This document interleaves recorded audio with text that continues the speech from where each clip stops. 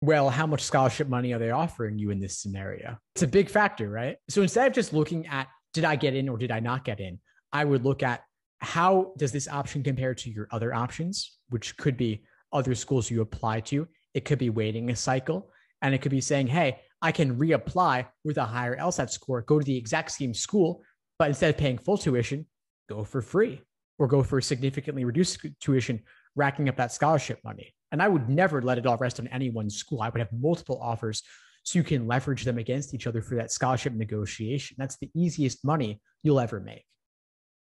Thanks for tuning into the show. Please subscribe if you haven't done so already to be notified of new episodes as I release them. And feel free to reach out if you need anything at all as you move forward with your prep. I'm happy to help however I can. In the meantime, I wish you all the best and take care.